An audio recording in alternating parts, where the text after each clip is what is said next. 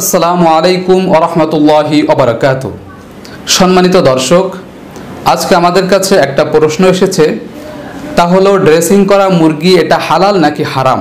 ইসলামী শরিয়া এ বিষয়ে কি বলে?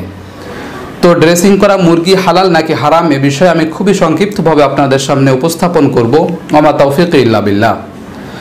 বাজার থেকে যে মুরগিটা আমি কিনে আনছি, প্রথমে আমাকে দেখতে হবে যে এই মুরগিটা জবাই করার সময় আল্লাহর নাম নিয়ে জবাই করা হয়েছে কি না কারণ আল্লাহর নাম নিয়ে জবাই করা না হলে সেটা আমাদের জন্য খাওয়া হালাল নয়।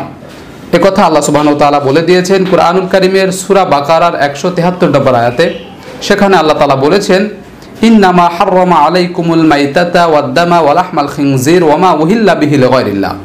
তোমাদের উপর হারাম করা হয়েছে মৃত জন্তু, মৃত পশু, প্রবাহিত রক্ত, শুকুরের গোশত এবং যেটা আল্লাহর নাম ব্যতীত জবাই করা হয়েছে। এগুলো তোমাদের জন্য হারাম। তো আল্লাহ তালা স্পষ্ট করে দিয়েছেন। তো ওই মুরগিটা যদি আল্লাহর নাম নিয়ে জবাই করা হয়, তাহলে সেটা হালাল। এরপরে দেখতে হবে যে উত্তপ্ত গরম পানির ভিতরে ড্রেসিং করা হয়।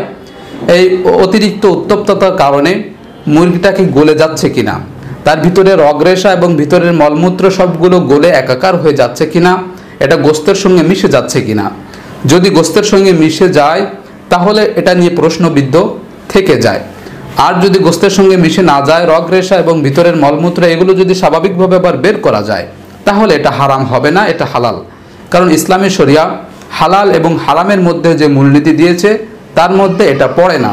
কারণ এটা গরম পানি দিয়ে এটার চামড়া ছিলে ফেলা হয়েছে মাত্র, এটাকে সিদ্ধ করা হয়নি বা তার মলমূত্র রগরেশা এগুলো গলিয়ে ফেলা হয়নি। যেহেতু এটা গলে যায়নি সেহেতু এটা হারাম হবে না এটা হালাল হবে।